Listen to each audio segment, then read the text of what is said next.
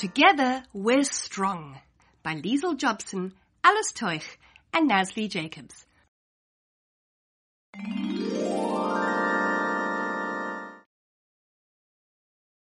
One harsh winter, many people in the land were sick. Ma Monica's cheeks burned. Sweat dripped from her body. She wanted to hold the icy grass to her face to cool down. Under her blanket, she held her belly and sang to the baby inside her. Be strong, little one. Winter's not long. Be brave, little one. Together we're strong. Her stomach growled when the baby's powerful kicks woke her at night. She ate the leftover meat in the cooking pot, hungry for life. One bright night, the moon was bigger, fatter, and pinker than ever. Her breath came fast. The baby was ready. The aunties in the birthing room rubbed her back and warmed the water. When Monica held her beautiful daughter in her arms, she knew she was a special girl, a fighter. What a blessing! Her name is Nontsikelelo. She will be the mother of all blessings. Nontsikelelo was beautiful and strong, with crinkling black button eyes. She loved her older brother Mlengi. He made her laugh, and so their laughter spread. She loved to eat meat before she had teeth. Her favorite aunt always kept a little portion on the side of her plate for Ntsiki. Engi eh, chased the chickens that scratched in the garden where Ma Monica grew spinach and squash to feed her family. Ziggy ran after him as her legs grew strong. Ma Monica had another baby boy, Velapi, and another, Udalele, and finally another sister, Nomyaleko. Little Ziggy folded napkins and washed the baby clothes. She swept the house and fed the fire. She picked up her baby brother when he cried and tickled him till he laughed. She taught them to sing, Be strong, little one. Winter is gone. Be brave, little one. Together we strong. Qingqiwe, her grandfather raised horses. His favorite was Shishi, a glossy black mare. As soon as Ntsiki was old enough, he hoisted her onto the saddle in front of him. His strong arms reached around her. He laced the reins through her fingers. He taught her to talk softly to Shishi, to groom her with a hard bristled brush. When she stroked Shishi's glossy coat, Ziki whispered, You are the most beautiful creature. Thank you for letting me ride on your back. Her father, Bonilizwe, came home from the mines at Christmas. Ziki pulled herself up onto Shishi's broad back. She rode out to meet him at the bus stop. She sat tall and straight, her knees held firm. She handled the reins with gentle fingers. How proud Bonilizwe was of his daughter. The biggest smile Ntsiki had ever seen covered her father's face. On her sixth birthday, she went to school. You must choose an English name, said the Presbyterian teacher. But Ntsiki liked her own name. Why do I need a new name? she asked. The teacher scowled and read the names aloud. Ida, Agnes, Albertina, Anna. What did they mean? Ziggy liked the long name best. Albertina. The name had rhythm. Albertina. The name had bounce.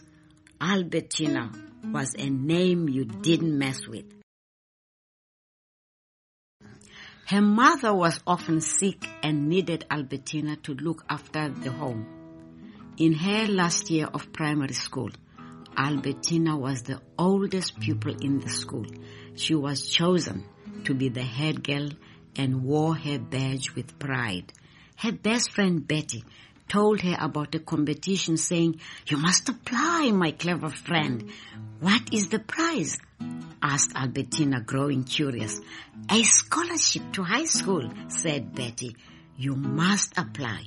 You'll win it for sure. Albertina studied until the candle burned down. She practiced sums, she practiced spelling, she sharpened her pencils and gave her shoes an extra shine. Next morning, she passed Shishi in her paddock. The horse whinnied and stamped the ground. At last, the test began. Albertina's fingers shook. The sums were tricky. Her mouth went dry. Her hand cramped on her pencil, but she continued. Well done, Albertina, said her teacher at the end. The important official arrived and called the top two students to the stage.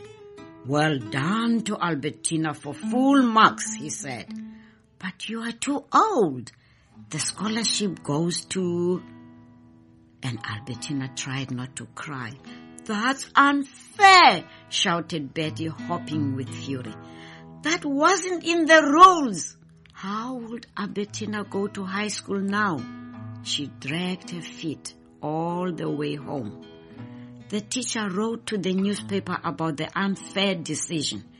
Brother Joe at the Catholic mission station read the story. He pushed the newspaper across the table to Father Bernard. He didn't like the story one bit either. Soon enough, there was a scholarship for Albertina. Mariazell near Matatiele was a long way from Xolobe, but the whole village erupted. Their home girl was off to high school. She would make them proud. They threw a party like no other. The women brewed the sorghum beer and lit the fires. They slaughtered chickens and stirred up pots of meat. Albertina smiled till her face ached. She packed her brown suitcase and polished her shoes again. Before setting off on the bus to Matatiele, she said goodbye to Shishi. Albertina brushed her coat and stroked her wiry mane. She whispered all her questions into the horse's silky ear. What if I get lost? Will I make new friends? Will I still be clever so far from home? Shishi whinnied and stamped the ground. School days started well before sunrise. The girls washed quickly in the cold water and swept the dormitories before mess. The milky porridge was never quite enough. The stew, not as tasty as auntie's back home. But Albertina studied hard. She played netball on sunny afternoons. In her school holidays, Albertina worked at the mission station. She rubbed and scrubbed against the zinc washboard. She boiled sheets in copper tubs, mm-hmm. then wound them through the mm-hmm. wringer. She hoed and tilled the school mm-hmm. garden. But she missed her family. Who was telling her brothers and sisters funny stories? Who wiped their eyes when they cried? Who tickled them until they laughed? Albertina loved the nuns who taught her.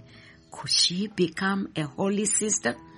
But nuns earn no salary, said Father Bernard. Perhaps you should become a nurse. You'll be paid while you study. Albertina took a train to Johannesburg. She bought a smart white uniform, new navy shoes, and a shiny red fountain pen. Sick people came all day to the hospital. She cleaned their wounds with careful fingers. She held the old people gently. When the babies cried, she sang, Be strong, little ones. Winter's not long. Be brave, little ones. Together we're strong.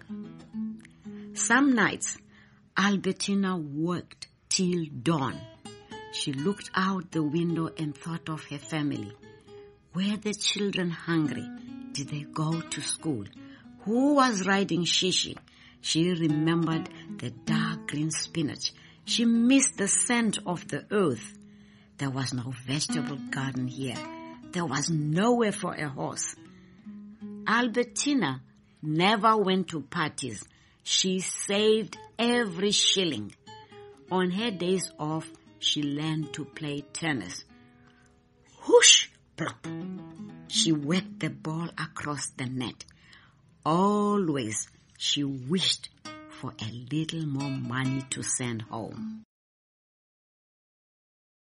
Walter Sisulu was a brave and clever man who dreamed of freedom for South Africa. His big smile captured Albertina's eye. They walked together down the city streets. Her delicate hand rested on his arm. Walter wanted Albertina to be the mother of his children. Bright ribbons decorated the Men's Social Center on their wedding day. Albertina's long sleeved dress had a swirling train of lace. Many friends blessed their special day. Albertina planted flowers in her little garden. Within a year, Max was born. Albertina had become a mother. One day, people would call her the mother of the nation. Max had his mother's black button eyes and his father's round chin. He was the hope for the future. Albertina wanted to fight for a new South Africa so that Max could be free. When he cried, she sang, Be strong, little one. Winter's not long. Be brave, little one. Together we strong. Police came in the middle of the night, banging on the door. Albertina scolded the man who messed up her house. How rude you are, she said, trembling mud inside my home. In the morning, Albertina's favorite flowers lay crushed beneath their footprints. She remembered chasing the chickens from her vegetable garden back in Xolobe and set about replanting the garden. The earth she knew would recover. She would support her husband who kept many secrets and hid from the police. She joined the women and worked to organize a march to Pretoria. The women refused to carry a pass. They sang, Watinda bafazi, watindi mbokodo. You strike a woman, you strike a rock. Many hard years followed Walter's arrest. He was jailed on Robben Island for 26 years. Albertina also was sent to jail many times. Often she was scared. Often she was lonely. But even on the darkest nights, she could see a sliver of the moon through the window in her cell. She sang the song that Ma Monica sang before she was born. Be strong, little one. Winter's not long. Be brave, little one. Together we are strong.